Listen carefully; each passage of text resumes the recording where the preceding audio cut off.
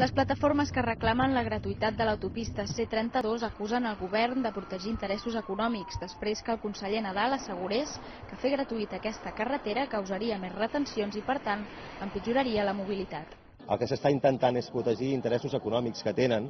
no? per tal de protegir el peatge aquest i que, que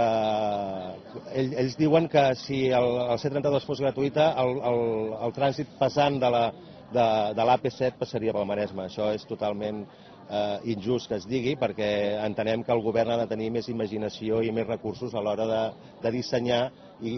i, i construir la xarxa viària catalana. En un nou acte reivindicatiu, les plataformes van tallar ahir la Nacional 2 al seu pas per Premià de Mar per exigir les administracions que converteixin la carretera en un passeig marítim, que millorin les xarxes de transport públic a la comarca i que se suprimeixi el peatge de la C32, el més antic de l'estat espanyol, i que costa ara un euro i 17 cèntims. No és que vulguem un passeig eh, marítim per entendre'ns perquè sí, sinó perquè és injust el tracte que estem